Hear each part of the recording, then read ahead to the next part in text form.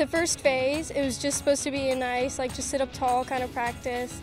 And then for this oxer, um, on the end number eight, most people have been getting that one down. So it was just a goal to really balance him up there and keep my momentum and really use my leg at the base of the fence. And then in the speed part, he just uh, galloped from, I think that's 980 to 10 and to 11 and 12 and it just really worked out well for me.